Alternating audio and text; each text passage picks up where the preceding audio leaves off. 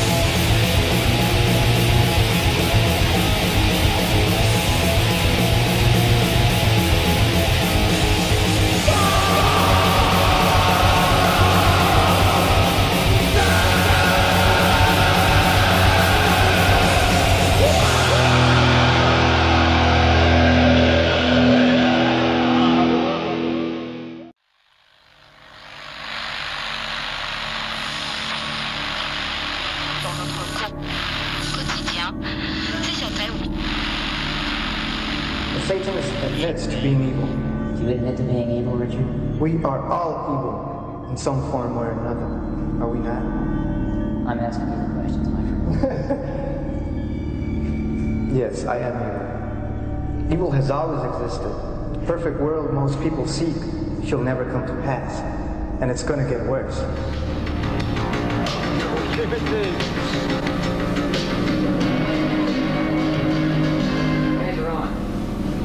Hail Satan. Righteously, motherfucker. Tonight on the air there's Satan and God. God at the right hand of Satan. You lying demon whore and son of a bitch. Oh, here's my hex. A lock from Billy Bower's hair. May you burn eternally eh? in real fucking hell, motherfucker. And you will, you lying demon whore and son of a bitch. Billy Bower, you're cast next. Right gently on the Madonna, on the Madonna, we burn a Catholic priest, you righteous motherfucker! You fucking miscreant asshole! Why don't you just eat pussy? Well, tonight, ladies and gentlemen, we have a purveyor of pussy. The ultimate dick fuck cunt asshole. He is God! He is God, and he is sitting tonight on the right hand of Satan! Believe it or not, God sits in my right hand tonight as the motherfuckers burn. They're burning. This is gonna be a fucking riot. Can you fucking picture it? In butt fuck Tucson! The right hand of Satan